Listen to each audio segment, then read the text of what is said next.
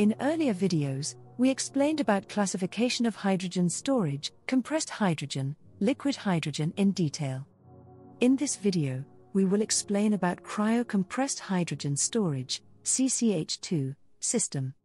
Cryocompressed hydrogen storage, CCH2, is an advanced hydrogen storage technology that combines cryogenic cooling and high pressure compression to store it efficiently.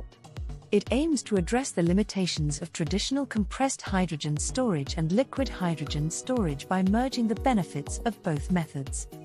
Working principle Preparing the CCH2 from gaseous hydrogen requires a multi stage compression unit with a repeated compressor and cooling system in combination with a subsequent refrigeration unit.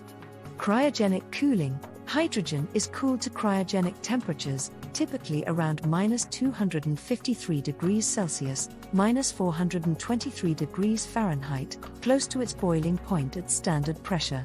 At this low temperature, hydrogen exists as a liquid, significantly increasing its density compared to its gaseous form.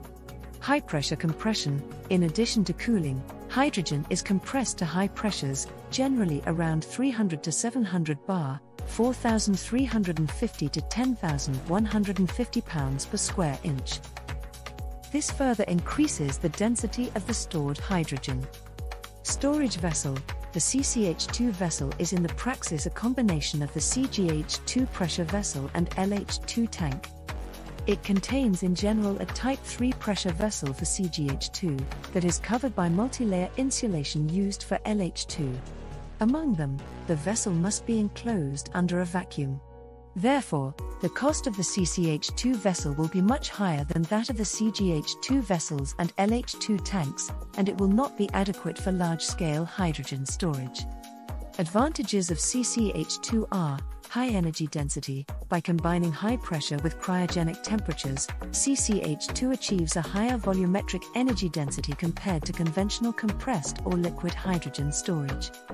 This allows for storing more hydrogen in a given volume, making it suitable for applications where space is limited, such as in vehicles. Reduced boil off losses. Traditional liquid hydrogen storage suffers from boil off losses due to the continuous evaporation of hydrogen.